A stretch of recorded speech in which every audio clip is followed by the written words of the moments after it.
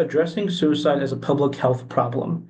This presentation will analyze how the United States, Japan, and Mexico handle suicide prevention, emphasizing their health systems and drawing comparative insights. The global suicide crisis. Suicide is a global public health issue. The WHO has recognized it as one of the top causes of preventable deaths. The general culture towards suicide is improving due to better healthcare infrastructures. However, there is still a lot to be done. United States suicide trends.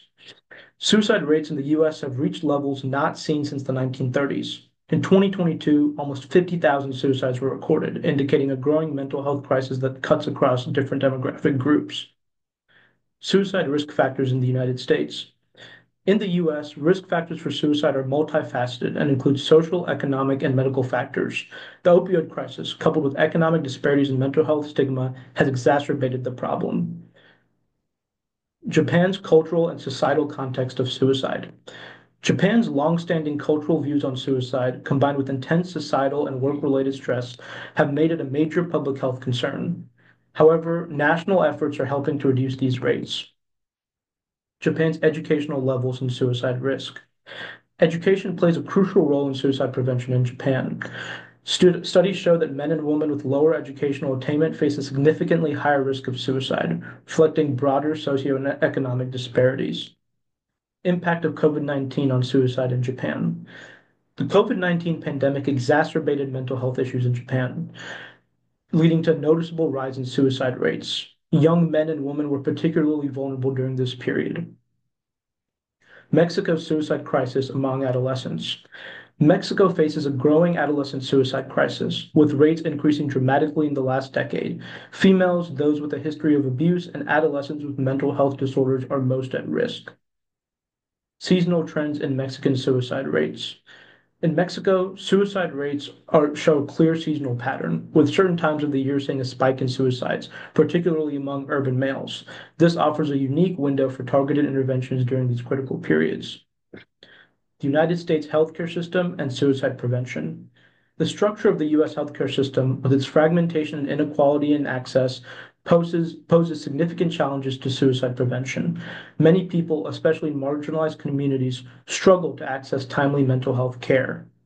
Japan's health insurance system and mental health. Japan's universal health insurance system offers broad coverage, including mental health care. However, there are still significant challenges in accessing specialized mental health services. All citizens and residents must enroll in either an employment-based or residence-based insurance plan. Mexico's health system and suicide prevention. Mexico's fragmented healthcare system with three parallel subsystems in in uh, INSABI, that uh, public and private sectors present challenges in providing comprehensive mental health services. Comparison of mental health infrastructure. Each country has a unique approach to mental health care, with the US suffering from fragmentation, Japan offering universal coverage but lacking accessibility, and Mexico facing systemic disparities. These differences are highlighted in context specific situations. Cultural attitudes towards mental health and suicide. Cultural attitudes towards suicide vary widely across these countries. In Japan, societal pressures and honor play a significant role. In the US, mental health carries a heavy stigma, but there's a growing emphasis on individual responsibility, while in Mexico, cultural conservatism often hinders open discussion of mental health. National suicide prevention programs. Each country has implemented unique suicide prevention programs. The US focuses on crisis intervention, Japan emphasizes on workplace mental health, and Mexico is working to build community based interventions. Successful strategies in suicide prevention. Uh, despite challenges, each country has seen su success in specific areas of suicide prevention. National hotlines, workplace mental health policies, and community health initiatives are all making a difference in reducing suicide rates. Innovations in suicide prevention. Innovation plays a key role in suicide prevention. In the US, telemedicine and mental health apps are providing new ways to reach at risk individuals. In Japan, workplace apps help manage stress, showing promise in reducing suicide rates. Comparative challenges in suicide prevention, part one.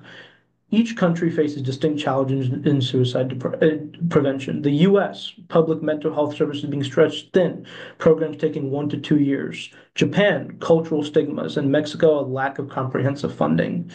Compre comparative challenges in suicide prevention, two. Uh, in Japan, high levels of workplace stress contribute to the country's mental health crisis. Similar to Japan, Mexico, mental health illness is often associated with shame and discrimination. The U.S. lacks a comprehensive national mental health care system across public and private sectors. So, what needs to be done? Prioritize early intervention and preventative care address the cultural barriers and stigma associated with seeking mental health support, and ensure equitable access to care, particularly for, for vulnerable populations such as rural communities, the youth, and the uninsured. Thank you for your time.